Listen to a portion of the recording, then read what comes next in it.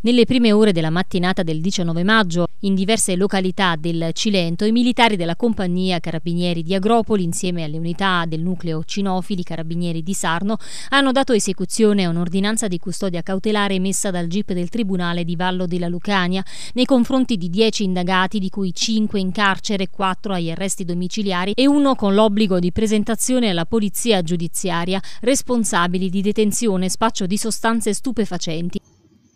Si tratta dell'esecuzione di un'ordinanza applicativa di misure cautelari personali nei confronti di 10 indagati, di cui abbiamo 5 persone sottoposte alla custodia cautelare in carcere, 4 agli arresti domiciliari e 1 all'obbligo di presentazione alla polizia giudiziaria. Si tratta di persone tutte del Cilento, di un'età differente, abbiamo sia ragazzi più giovani che persone un po' più grandi. Ehm, ritenute responsabili della violazione dell'articolo 73 del DPR 309 del 90, ovvero eh, detenzione, trasporto e cessione in particolare eh, di sostanze stupefacenti. L'attività investigativa denominata 87 ha permesso di documentare svariati episodi di cessione anche a minorenni di numerosi quantitativi di sostanze psicotrope di tipo cocaina, hashish, marijuana, recuperati e sequestrati ingenti quantitativi di droga confezionata per la vendita al dettaglio.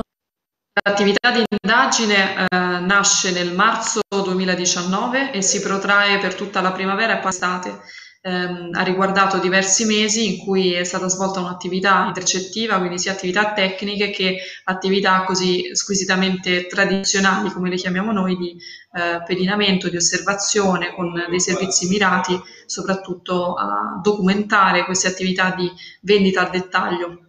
che riguardava la piazza dell'intero Cilento, diversi comuni, fra cui Agropoli, Castellabate, Laureana Cilento, Torchiara, eh, Casalvelino, eh, la cessione di sostanze stupefacenti, fra cui abbiamo cocaina, hashish e marijuana, ha riguardato in diversi casi anche dei minorenni.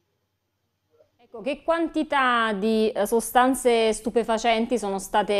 eh, recuperate, insomma, quindi poste poi sotto sequestro?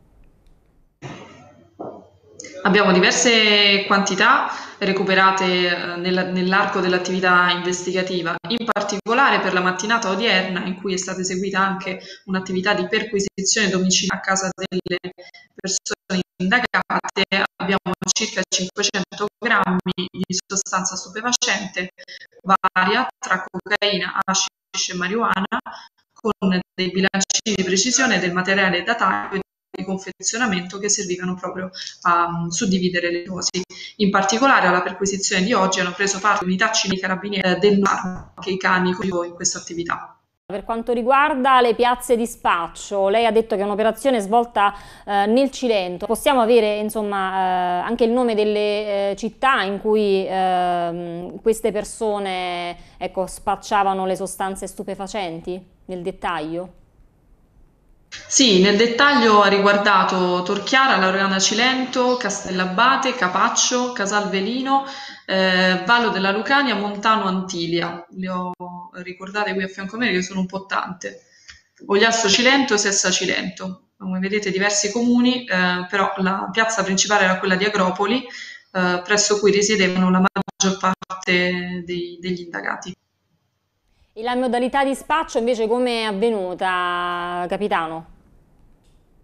Si trattava di incontri, diciamo, casuali, nel senso che erano incontri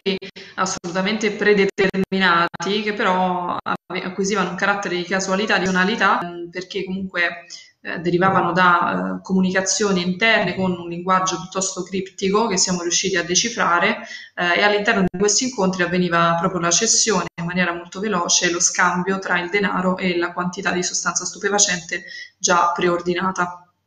Dunque, capitano, la banda è sgominata a questo punto grazie a questa operazione?